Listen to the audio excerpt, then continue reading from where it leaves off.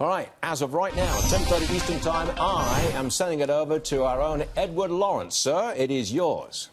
Uh, thank you, Stu. I appreciate it. Yeah, and joining us now, very special guest at this moment, uh, the Dallas Federal Reserve President Robert Kaplan. He's co-hosting a conference right now. It's uh, energy and the economy uh, changing or charting the course ahead. Now, before we get to the energy sector, I wanted to ask you your impressions of the job numbers that just came out. Uh, 201,000 jobs created in August, better than expectations. Uh, how does this change your view of the economy? It's probably consistent with my view of the economy. It's a very strong report. It's reflective of a strong economy in 2018, a tight job market. And the number I like to look at in particular is this referred to in the lingo as U6, which is the unemployed plus discouraged workers plus people working part time who'd like to work full time.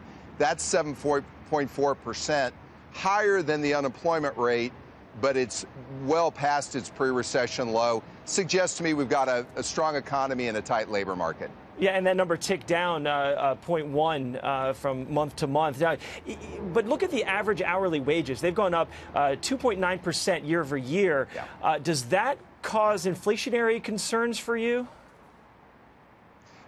we've been expecting, and I've been expecting for several months now that you'd see the wage number firming and it's consistent with a tight labor market.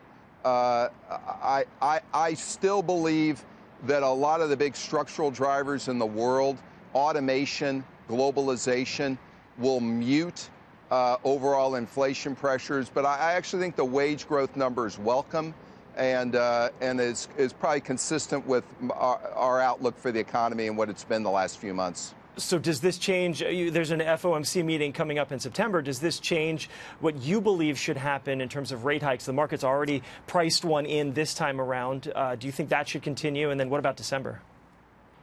Yeah, no, and I've been saying uh, that I believe, in light of economic performance, we ought to be moving toward neutral, a rate at which we're neither stimulative or restrictive at the Fed uh, because we're at, we're at or near full employment or past it. Uh, we're meeting our 2% inflation goal.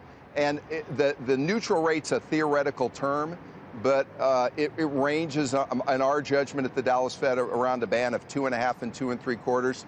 That tells me that over the next nine to 12 months, we ought to be raising the Fed funds rate uh, probably at least three more times, maybe three or four times to get to that neutral rate of around two and a half to two and three quarters. And everything that is in this jobs report today just causes me to reaffirm, reaffirm that view.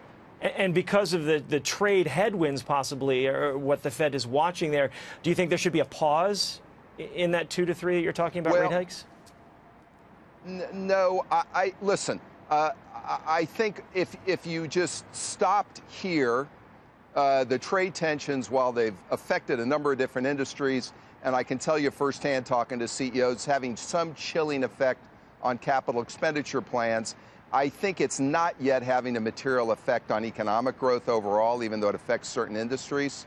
Uh, I do think it may be an, a factor that's affecting emerging market instability, so I'm watching that carefully. But uh, but but I, I I think trade tensions at this point are just something I'm watching carefully, but at this point, I don't think it should change uh, our plans at the Fed.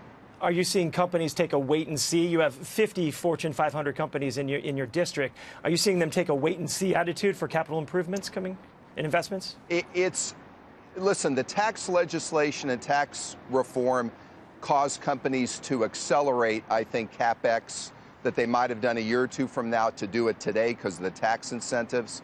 I also think you're seeing uh, uh, additional capex in the energy business because of uh, uh the production growth, high prices.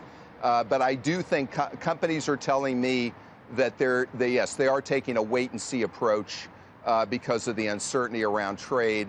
So it's having a little bit of a chilling effect. and, and, and, so that's something just to be aware of and take note of.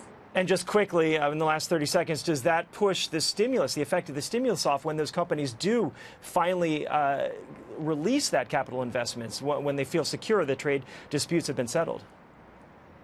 Well, uh, I think you'll get more, maybe more bang for the buck from the fiscal stimulus if companies didn't have this uncertainty. It is our view, and it's my view at the Dallas Fed, that we're at the height of the impact of the stimulus right now, the fiscal stimulus. That will fade somewhat in 19. It will fade further in 20. And you've still got some uh, headwinds, sluggish uh, uh, labor force growth because of demographics aging and sluggish productivity. Those will start to kick in more as the fiscal stimulus fades. And th- that's something I'm watching very closely. And Robert Kaplan, I appreciate it. Uh, if you want to continue with Varney and Company, watch it right here. You can also two screen us.